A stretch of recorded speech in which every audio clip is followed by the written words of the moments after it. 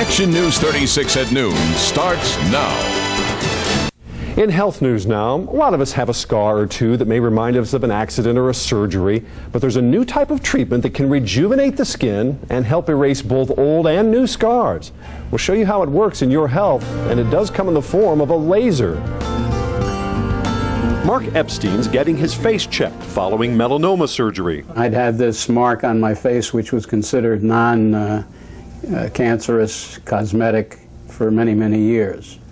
Uh, but during this year's annual, I picked out and took a biopsy, found the melanoma. Even in the best surgical hands, procedures can leave scars. Mark was enrolled in a study that helps reduce that scarring. Usually, most people have reservations about treating fresh scars, and the dogma has been that you can only treat old scars or mature scars. But in this study, the laser was used to resurface brand new scars. So while you're resurfacing the scar, as it's doing its own remodeling, you're actually giving it a stimulus to remodel further and to really uh, emulate what normal skin would look like. The laser causes controlled damage to just one third of the skin's surface and also just below it at the dermis. It's at the dermis level where collagen is made.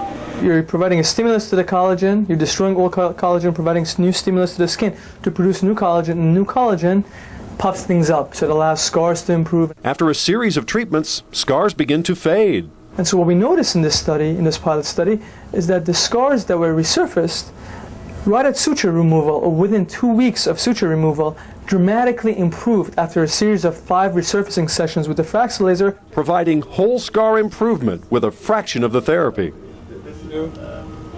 Action News 36 has more details on that Fraxel laser you just saw. Right now, it is FDA approved for acne scar treatment as well as wrinkle treatment around the eyes and certain skin discoloration treatments.